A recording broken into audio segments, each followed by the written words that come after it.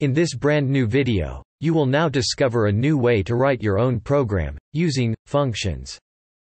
So be sure to stick around and watch until the end of this video if you want to discover more. Definition What is a function in Python? In Python, a function is a group of related statements, that performs a specific task.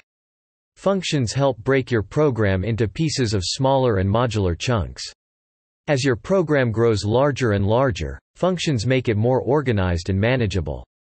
Furthermore, it avoids repetition, makes the code reusable, and allows you to work collaboratively.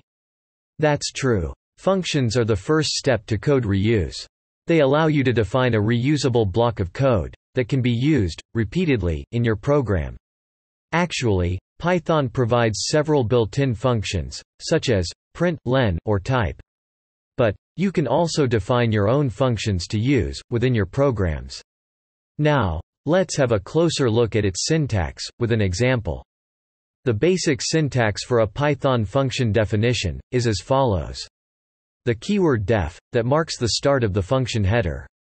The function name, to uniquely identify the function throughout your program. Optional parameters also called as arguments, through which you pass values to a function. 1 colon, to mark the end of the function header. Optional documentation string, to describe what the function does. One or more valid Python statements in the function body, with the same indentation level, usually four spaces.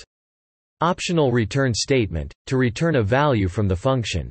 If you liked this video, please, do not forget to give a thumb up, and subscribe our channel. Digital Academy, learn free. Thanks for watching this video. Please subscribe. Hit the notification bell, like, comment, and share.